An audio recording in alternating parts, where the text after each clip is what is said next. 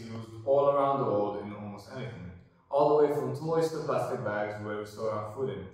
But did you know that plastic can be found even in cigarette filters, which are actually 95% made out of plastic, and are recognized as a proven source of them?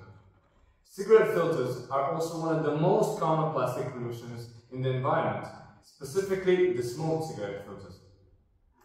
But you may ask, what microplastics even are? Well, by definition, microplastics are a form of plastics which are in diameter smaller than 5 millimeters, although most of the time invisible to the naked eye. Exact consequences of microplastics on human or animal health are yet to be studied. Microplastics can enter the human body through ingestion or inhalation, where they may be taken up in various organs and might affect health for example by damaging cells or inducing inflammatory and immune reactions. Going back to the microplastics in cigarette filters, which are composed of more than 15,000 fiber strands and end up in our oceans. They dump lots of microplastic particles, which are harmful particles with low degradation rate, which means potential high exposure and risk to aquatic environments and can be introduced into the food chain because they are easily ingested by a variety of aquatic organisms, causing toxicity to fish and microorganisms. Especially eating exposed fish and shellfish could have consequences on the health of a human consumer. When smokers discard their butts into the environment, the single-use plastic filter, the remains tobacco and paper wrap, and the toxic compounds that remain in them cause harm to the environment. Therefore, a new form of pollution from cigarettes is added to the environment, with a proven damage to ecosystems and therefore to humans.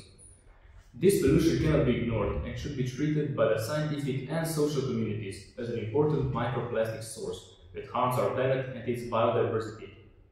But can we actually fix this problem?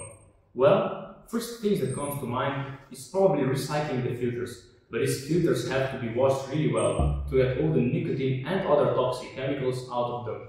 Therefore, also washing the microplastic out, which end up in the water that was used to wash them, and we end up back where we started. A more efficient way is biodegradation, which is the use of microorganisms to decompose microplastics. Some microorganisms have been found to use the carbon in plastic as an, as an energy source, and biofilms which are communities of microorganisms, can already be found in naturally occurring on plastic litter. Many microorganisms can adapt quickly to new environments, meaning that biodegradation could be used in a variety of situations to both prevent the introduction of microplastics into marine environments by treating wastewater before it reaches water bodies and by treating already contaminated environments. Fixing the problem of microplastic in cigarettes would also be smoking less and dropping cigarette butts in a special garbage, not mixed with anything else, especially not in nature. Microplastics present a big environmental challenge to which we all should stand up to, anyway individually or together can.